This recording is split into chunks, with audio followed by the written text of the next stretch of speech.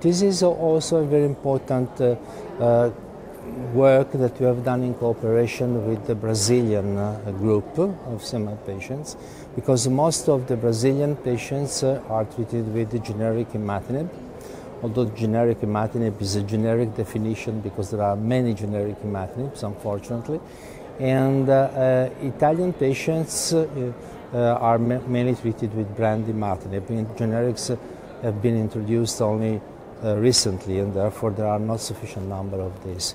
So we made a comparison between uh, these two group of patients in a different way, and uh, uh the outcome was definitely uh, better for those patients who were uh, indeed treated with the brand imatinib with respect to generics.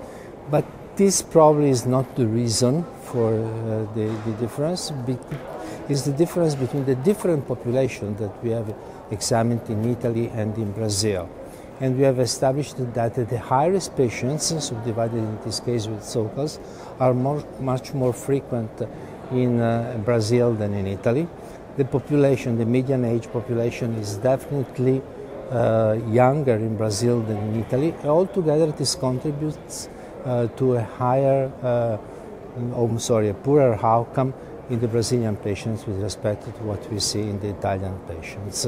Therefore, we started just trying to compare generic versus brand imatinib and finished to say that uh, the outcome of the CML, unfortunately, is not similar, uh, is not totally, um, we can say, equal all over the world. But of course, uh, even in countries well developed with Brazil, but different uh, social, economical, and probably different health system, different also, uh, we say, uh, demographics and so on.